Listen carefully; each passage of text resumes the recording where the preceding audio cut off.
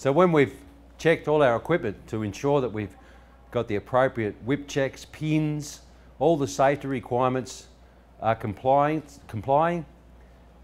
We follow our line through here and we also walk the line to ensure that we've got the twin lines are fine, everything's harnessed.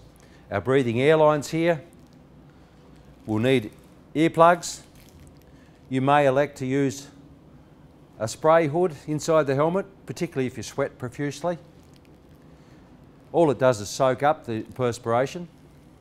But you can see the yellow breathing line here comes through to your blast helmet. So what I suggest is it's not something you leave laying around and just drag along with you, primarily because it's an important, integral piece of equipment.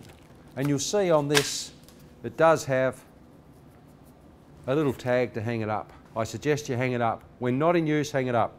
If you leave it on the ground, grit will eventually be blown inside it. It's something you put on your head, so it's something you need to keep clean. Now this Nova 3 helmet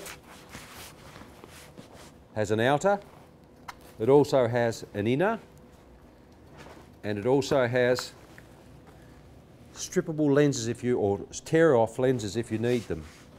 So this particular inner lens is something you, when you replace, you don't rub it with your hands, you leave the protective film on it and then remove it, as I'll show you in a second.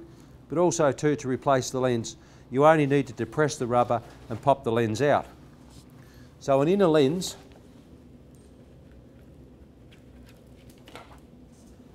like so, and there's the protective film on the inner lens. So you can see the lens only fits one, one way, it doesn't matter inside or outside, but it does have a number here. The number means that this particular lens coincides with a standard. And the standard is for accidental ricochet or something that may rebound when you're blasting to ensure that it cannot penetrate this inner and outer lens and hit you in the face or, or eye. So it's designed to do a specific job. So aftermarket lenses and so forth, just make sure that they do comply with Australian standards and they are appropriate for the unit that you're using.